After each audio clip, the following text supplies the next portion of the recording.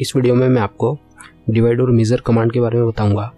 तो सबसे पहले हम दो लाइन ड्रॉ करते हैं इक्वल डिस्टेंस की। एल एंटर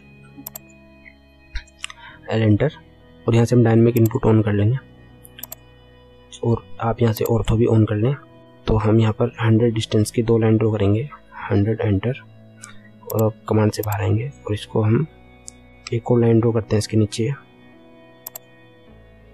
100 तो आप यहाँ पर देख रहे हैं, दो लाइन हमने यहाँ पर ड्रॉ कर ली। अब हम यहाँ पर सबसे पहले डिवाइड कमांड का यूज़ करेंगे। तो आप कमांड लाइन में आप यहाँ से भी सिलेक्ट कर सकते हैं और यहाँ पर जाकर आप डी आई वी टाइप करेंगे और एंटर कर देंगे।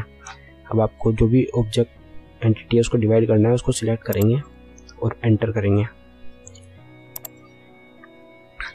डी आई वी एंटर और आप यहाँ पर आप देख रहे जैसे आप क्लिक करते हैं तो आपके सामने वो enter the number of segment तो आप यहाँ पर कितने भागों में डिवाइड करना चाहते हैं तो मैं यहाँ पर टेन सिलेक्ट करता हूँ। तो देखिए लाइन टेन भागों में डिवाइड हो चुकी है। पॉइंट्स आपको दिखाई नहीं दे रहे तो पीटी आप टाइप करिए। और यहाँ से इस टाइप के पॉइंट आप सिलेक्ट करेंगे तो देखिए टेन दस भागों में ये डिवाइड हो चुकी है लाइन इक्वल टेन पार्ट्स में। अब मैं आपको अगर आपको किसी भी लाइन को इक्वल पार्ट्स में डिवाइड करना है तो आप डिवाइड कमांड का यूज़ करके उसे डिवाइड कर सकते हैं। अब मैं आपको मेज़र कमांड के बारे में बताता हूँ। आप यहाँ पर M E M E type करिए। एम ई जैसे ही आप यहाँ पर टाइप करेंगे तो मेज़र कमांड आप देख रहे हैं स्टार्ट हो चुके तो यहाँ पर मैं इस पर क्लिक करता हूँ। और अब आपको मेज़र में जो ये सीगमेंट है, इसकी फ़र्स्ट सीगमेंट की लेंथ यहाँ पर आपको सिलेक्ट करनी है। तो जैसे मैं यहाँ से सिलेक्ट करता हूँ इसे आप यहाँ पर न्यूमेरिकल वैल्यू डाल के भी इसको सिलेक्ट कर सकते हैं। जैसे मैं यहाँ पर कर्सर से सिलेक्ट करता हूँ। फ़र्स्ट पॉइंट मैंने यहाँ पर सिलेक्ट किया और सेकंड पॉइंट में यहाँ पर अपने लेफ़्ट माउस क्लिक करता हूँ।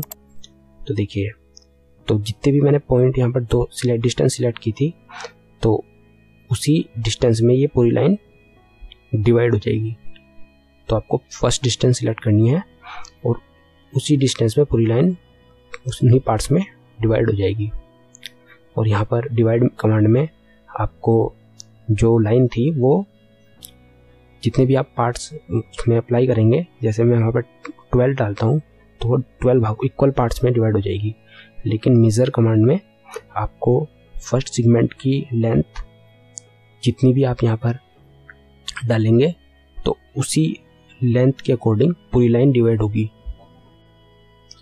जैसे मैं यहाँ पर एक बार और आपको बताता हूँ, मैं यहाँ पर 200 की एक लाइन ड्रॉ करता हूँ। और यहाँ पर मेज़र कमांड को यूज़ करूँगा। मैं इसको सिलेक्ट करूँ, यहाँ पर क्लिक करता हूँ तो देखिए यहाँ पर हमें फ़र्स्ट सीगमेंट सिलेक्ट करना है। तो मैं उसको डिस्टेंस यहाँ पर डालता हूँ थर्टी एंटर तो देखिए यहाँ पर थर्टी डिस्टेंस पर ये डिवाइड हो चुकी है। अब हम इसको अगर मेज़र करते हैं लीनियर में जाकर तो आप देखेंगे यहाँ पर ये डिस्टेंस थर्टी होगी। ये देखिए थर्टी तो इस टाइप से आप लाइंस को डिवाइड कर सकते हैं मिजर और डिवाइड कमांड से।